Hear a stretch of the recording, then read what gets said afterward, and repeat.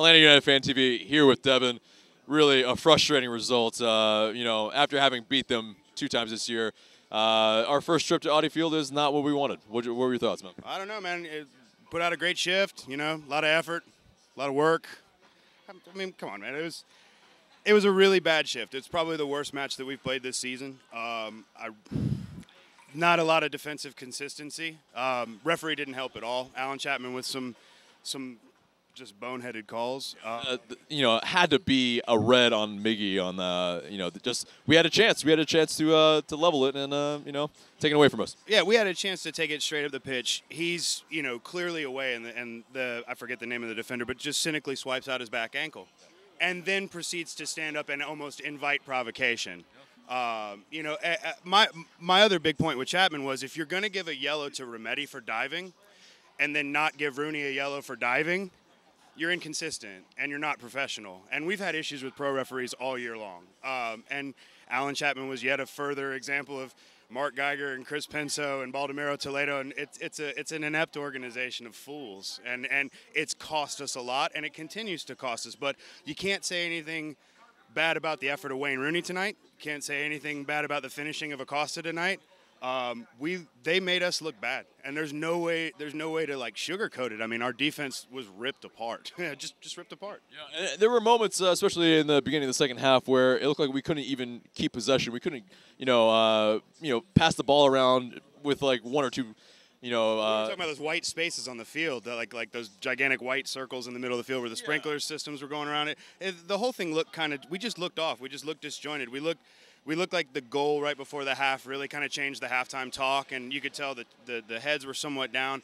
But even when we did have the possession, when you know when you string together 73% possession in the first half and do nothing with it, we've talked about that before. It's like when we attack up the middle, we score goals. I've said it a hundred times on these channels, but when we do the side to side and let the other team set up with 11 men behind the midfield stripe, it's just it's not effective. We don't have that six foot four target man that's going to take a Chris McCann cross. And yes, Josef has scored.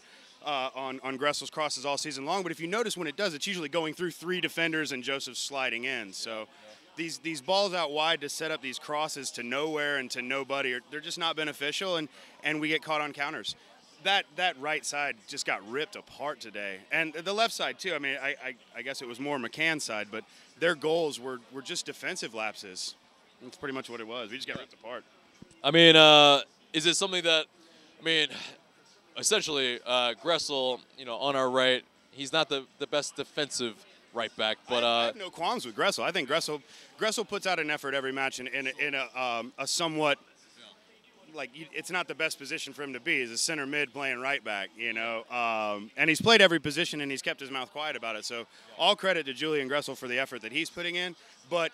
This team needs to invest in some defensive help. We've got attackers up the wazoo. I mean, we can score goals with anybody, but it's just disappointing to see these defensive lapses. And, and I haven't said an unkind word about Brad Guzan, but those goals they scored today, I mean, he fell like a tree. He made Petr Cech look fast, and and and, and near post goals with two defenders in front of you. Like none of those were rockets. Even the penalty wasn't a rocket. I'm not going to ever slant a goalkeeper for not saving a PK, but the two goals they scored weren't world beaters. They weren't. They were worm burners Yeah.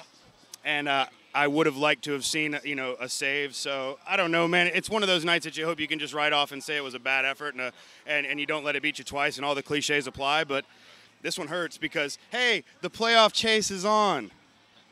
so. so Devin, yeah, no, I mean, it seems like when we uh, play against Bill Hamid, he always stands on his head, man. And uh, you know, three games last year, he kept us out for most of it except for one, you know. So it was almost like exactly three-one. That's the the score that we uh, we always get against Bill Hamid. It's it's weird. Well, I mean, he and Zach Steffen and, and these goalkeepers, Stefan Frei, these guys are just putting in huge performances against us. But you wonder how much that is the buildup of they've got Miguel Almiron, they've got Josef Martinez. These keepers are hyped coming in to play against our squad because we score goals. So it's a it's a personal challenge to them, and I, I expect that from Bill Hamid. I don't expect to see Bill Hamid being the most scored upon goalkeeper in MLS. Like that's that's not what you expect from somebody like him. I expect to see Zach Steffen in Europe. I expect to see you know players of that ilk play to that play to that level against us. We are an offensive juggernaut when we play direct. When we play side to side and play down to a team that's in eighth place in our, our division, we get beat. or our Yeah. conference, we get beat. So, uh, what does this do to our, our playoff picture at the moment? We're uh, one point behind New York Red Bulls uh, with one game in hand. What do you think? I mean, if that's getting into their heads and we're getting performances like that, I mean, we need to put it all behind because this team has not played. I feel like we peaked months ago when we were on that eight-match unbeaten streak, and it's almost like the loss in Dallas took something out of this team. Because if you notice, after the after we dropped points in Dallas, um, you know, we, we dropped points against Seattle, we dropped points against Portland, we dropped points against Toronto, we righted things against Columbus, but now you know we lose points here in an Eastern Conference game. So something's not right. Um, it hasn't been right for a minute. We've had highlights and moments, but everything's been broken up. We haven't had that run of five matches in a row where we get 15 points. And we've said all along, this is a point accumulation goal differential league. We need to we need to start putting teams away.